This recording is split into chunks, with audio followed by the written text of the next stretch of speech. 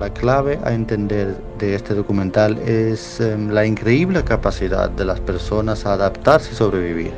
Y esa abismal diferencia entre tener leyes bien escritas y hasta ratificadas y volver la realidad a través de políticas y programas de manera universal e integral, para que así se conviertan los derechos en una realidad para todas y todas.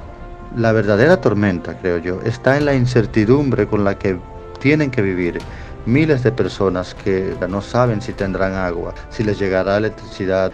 Esa es la tormentosa incertidumbre real de la gente que tiene tan negados sus derechos que muchas veces ni saben que lo tienen.